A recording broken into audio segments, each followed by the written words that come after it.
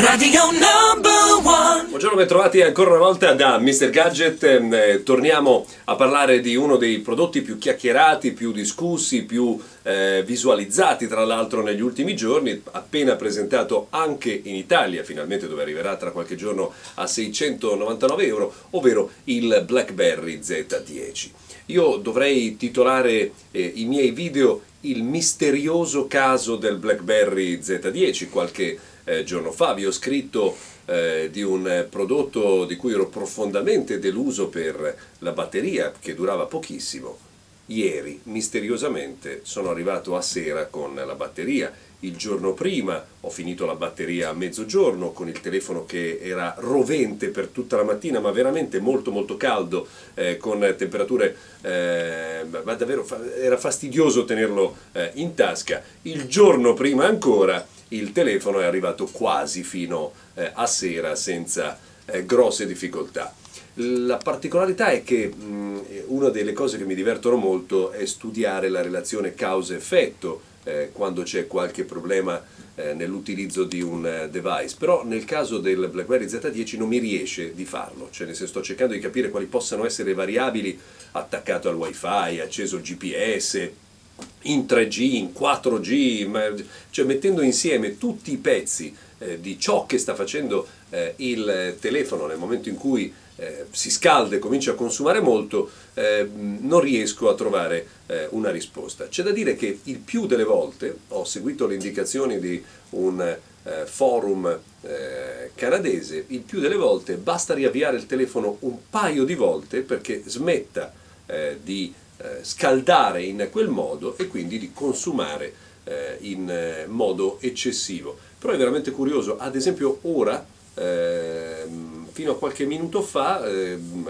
il telefono era in stand by appoggiato eh, qui sul banco di regia eh, di Radio Number One e il telefono era caldo. Eh, non, non, stava facendo assolutamente nulla, nel senso che è stato acceso e poi appoggiato eh, qui sopra. Adesso è tornato ad avere una temperatura eh, normale. Volevo mostrarvi di questo prodotto una delle funzioni di cui se cercherete informazioni non troverete traccia.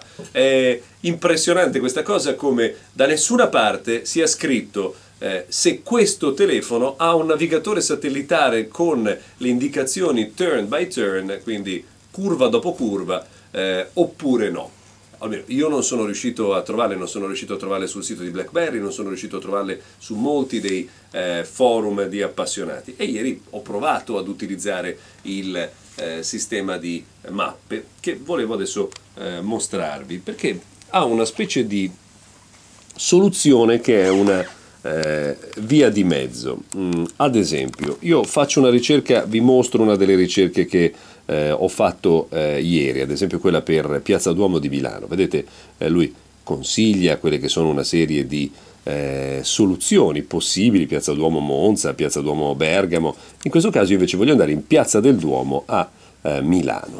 Sono mm, a 47,1 km eh, dalla Piazza del Duomo. Se scelgo la navigazione, basta che io clicchi su eh, questo pulsante perché la navigazione eh, venga tracciata. E vedete, il tracciato sulla mappa viene fatto immediatamente. Sono 54,1 km stradali, ci vogliono 42 minuti per arrivarci. Se io parto con eh, avvia, la cosa misteriosa è che, e su questo io vi chiedo aiuto, se voi avete qualche conoscenza più di me, perché eh, io sono un utente che smanetta sugli oggetti, non, non, non sono eh, uno scienziato, è che adesso rimarrà con questo comando di avvio navigazione finché io non, riesco, non eh, esco eh, all'aria aperta. non, mm, per qualche modo, finché, per qualche ragione, finché non ci si muove, non, non si arriva sulla strada, eh, questo avvio di navigazione eh, non capiterà. Ma l'altra cosa ulteriormente eh, strana è che io rimarrò con questa visualizzazione per tutto il tempo. Ehm, avrò da questa parte, come vedete, le indicazioni su eh, quale strada prendere, su quale percorso fare, eh, ma nonostante qui mi dica che posso vedere le indicazioni turn by turn, vedete, eh, in realtà questa cosa non, eh, non succede. E quindi il, la risposta che non ho è ma questo oggetto ha un navigatore satellitare oppure no? Perché vedete infatti che anche il tracciato, quando io zoom, sparisce, mentre se torno a eh, utilizzare il, lo zoom completo, quindi con la mm, diciamo, visualizzazione totale della mappa, a questo punto mi fa vedere anche il tracciato. Mentre se aumento eh, lo zoom mi fa vedere le condizioni di traffico, che in questo caso sull'autostrada non, non sono ottimali, c'è una riga rossa che indica il traffico intenso, ma non mi fa vedere il tracciato finché non ho la panoramica totale. E come potete vedere, avvio navigazione ancora eh, in, eh, in, corso.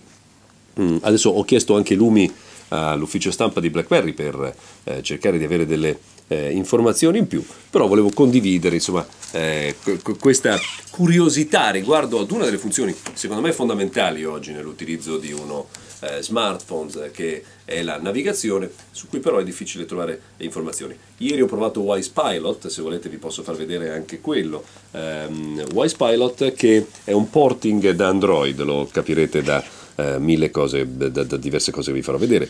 Mm, un porting da Android, così come succede per molte delle applicazioni che sono già eh, nello store. Allora, mm, c'è questa particolarità. Ieri, ad esempio, cliccando su No, questa volta funziona, perché ieri cliccando ad esempio su indirizzo non c'era modo di, eh, di arrivarci.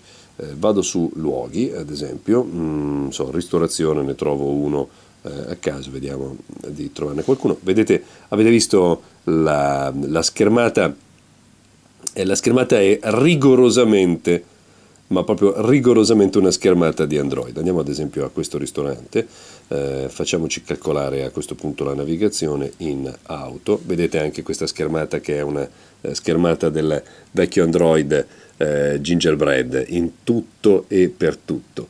Quindi un porting di un'applicazione eh, Android, però devo dire che eh, Voice Pilot eh, funziona ad esempio ehm, molto molto molto bene. Ehm, ho cercato anche di eh, trovare il, vedete ecco adesso mi ha eh, trovato, mi ha tracciato praticamente il percorso, eh, scusatemi, mi ha tracciato il percorso, mi sta portando insomma a destinazione. Vabbè, comunque insomma, eh, di questo abbiamo visto.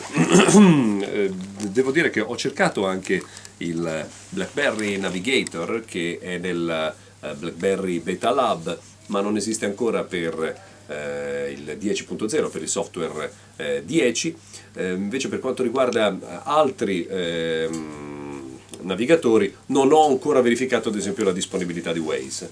Eh, di fatto rimane quel punto di domanda, adesso sto cercando di trovare eh, delle risposte sul navigatore satellitare invece diciamo stock eh, che, che, è di default per questo BlackBerry eh, Z10. Nei prossimi giorni vi darò aggiornamenti tanto sulla durata della batteria che è strana, è veramente stranissima, non riesco a capire perché sia così altalenante, quanto su questo dato sul navigatore satellitare.